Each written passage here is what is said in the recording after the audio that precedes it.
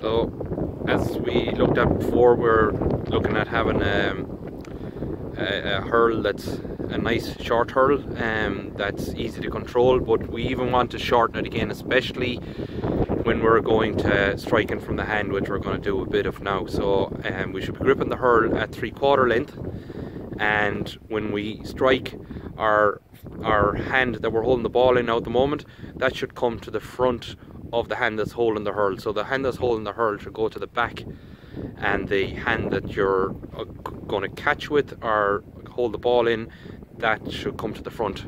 So Nathan's just going to do a couple of strikes up against the wall there and catch them.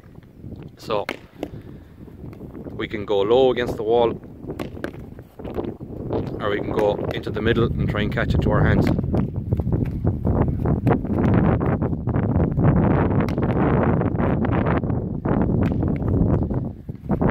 Try to alternate between left and right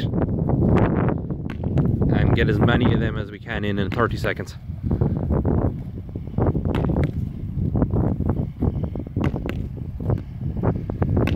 Okay, now we're going to do a bit of striking from the hand.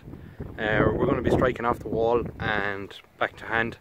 in this case it's important that we have a short grip again. We, we were talking about a the hurl being uh, a certain length there at the beginning of the videos um, now we're going to even go shorter again. It's 90% of hurling is played with a short grip. So we want to grip it about three quarter length. Um, we want to keep our elbows pretty tight to our body when we're striking.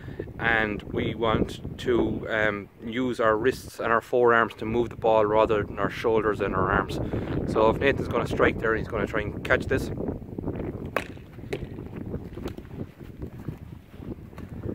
and we just get a rhythm going where we're striking and catching, striking, catching. Get your hand up to protect there. And um, the hand, the catching hand, get your hand uh, up with the hurl up, either in front or behind to protect. Now, if you're lucky enough and you have a wall either side of you, you can alternate from high catch, turn around, strike, low, control, and strike up, up high, and as we move forward these are the drills that we're going to get into that we're getting more complicated and a little bit more advanced